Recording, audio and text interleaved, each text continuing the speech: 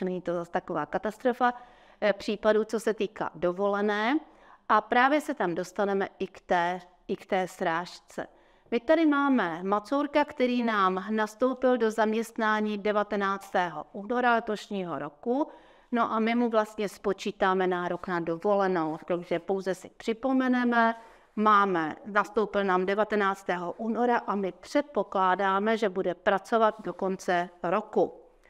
To znamená, podívám-li se do kalendáře, kdybych nezapomněla to, kdy nám nastoupil 19. února, no, takže 19. února nám nastoupil, vidíte, že nám nastoupil na počátku 8.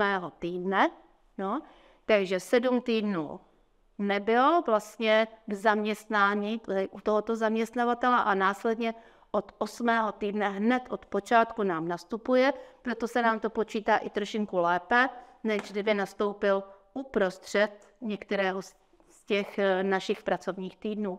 A zejména je to proto jednodušší, že nám v letošním roce ještě stejně jako v loňském roce začíná vlastně první pracovní týden pondělkem. No.